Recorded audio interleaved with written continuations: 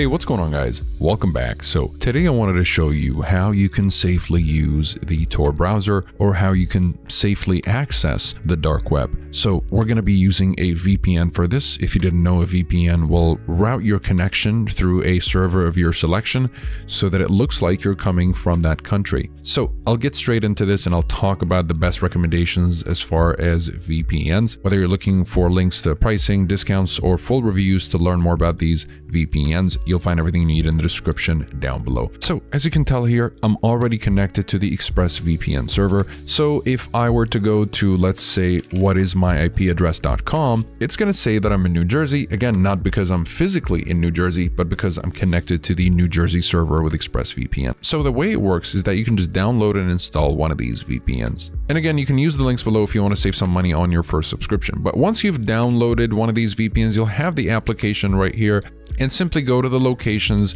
Pick a location of your choosing. Let's just go with Atlanta this time just to demonstrate.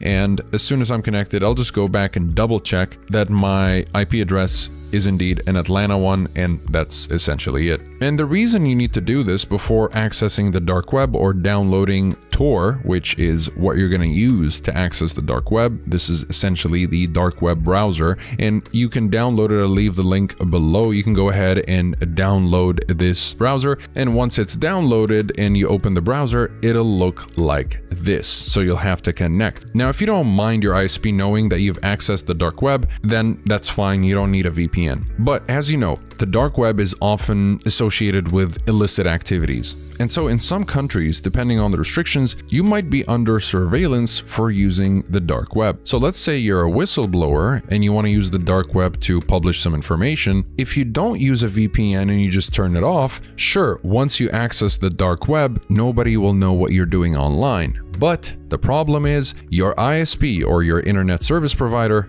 will still be able to know that you've accessed the dark web, even though they don't know what you're doing in there, but they can tell that your IP address was connected to the dark web. So, in order to avoid that, you can use a VPN. So again, you can just download and install one of these VPNs and just make sure that the kill switch is on. Now the kill switch will disconnect your internet when the VPN disconnects unexpectedly. So what this does is that it makes sure that nobody including your ISP or government, will ever know what you're doing online even when the VPN is off. So this is a very useful feature, especially if you're just using the dark web and out of nowhere, for whatever reason, the VPN disconnect. Now, this is rare with Express, Nord, and Surfshark, but again, if it happens, the kill switch is just a safety measure just for that. And that's basically it. Now, you won't need to use split tunneling unless, let's say, you don't want your connection to be affected by the VPN, except for the selected applications. So for example, I can just add another app here and from my files, I can add the Tor browser. And this way, when I turn on the VPN, everything in my computer won't be affected by the VPN except for the Tor browser, or in this case, except for these two, because it's set on only allow selected apps to use the VPN. And again, you can do it the other way around. So it's a very useful feature and it's available in Nord and Surfshark as well. So that is essentially it. Now that you know what to do, you can just download the VPN, again, go to the options, turn on the kill switch, then go to locations and connect to whatever server you'd like to connect to. Let's just go with Dallas, for example. And the moment I'm connected, all I need to do is just connect to the Tor browser. Now, real quick, let's just double check. Right here, you'll notice that now I'm in Dallas. I'll be in Dallas as far as uh, my internet is concerned. And now that we're done here, we can just go ahead and connect to the Tor browser. You'll be connected and you will have full access to the dark web. Now, I don't necessarily need to connect right now, so I'm just gonna cancel it. But a VPN is not just useful to secure your data or make sure that nobody knows what you're doing online. A VPN is also very helpful if you're trying to, let's say, watch a streaming service that's not available to you, or if you're trying to access maybe a site that is not available in your current location. Maybe you're traveling, you're abroad, you're not able to watch your Netflix show, you're not able to access whatever service that you're used to accessing. For example, in China, everything is banned, so you'll need something like ExpressVPN specifically for China because it's the best for China. If you're just privacy conscious and you're looking for the easiest to use and most consistent and reliable VPN, you've got 105 countries and you'll be able to secure up to eight devices per subscription, then ExpressVPN is a great choice. Uh, NordVPN is more of a well-rounded option that offers a whole lot of features for a very reasonable price. And you also have things like the dark web monitor and the Onion over VPN servers, which will actually boost your experience if you use a lot of Tor. But you're limited at 61 countries, so if you're looking for the countries that Express has, then you probably don't want to go with NordVPN. Otherwise, this is definitely the best well-rounded VPN that offers a lot of features for a very reasonable price,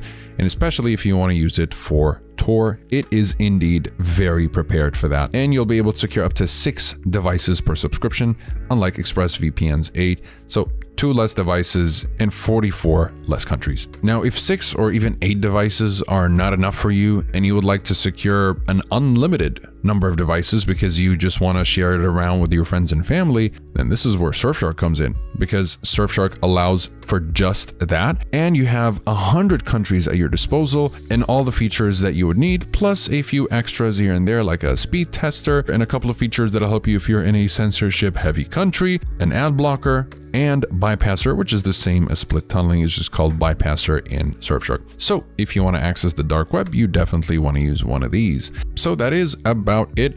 And if you end up picking any of those up, by the way, make sure that you know exactly what you need because according to Express, too many people end up sticking to the monthly plan because they start with it and they just let it resubscribe at a very expensive rate, which ends up costing a whole lot more. So if you want to save money in the long run, just go with a 12 month plan. Unless you know you're just going to need the VPN for no more than a month, then go with a monthly plan. Otherwise, go for the 12 month plan, which will also give you a discount if you check the description down below. And there's a 30 day money back guarantee either way in case you change your mind later. So that is basically it for this video. Comment below if you have any questions. I'll be happy to answer all of them. Like and subscribe if you'd like to support the channel and stay up to date with everything VPNs and cybersecurity. Thank you guys very much for watching, and I'll see you in the next one.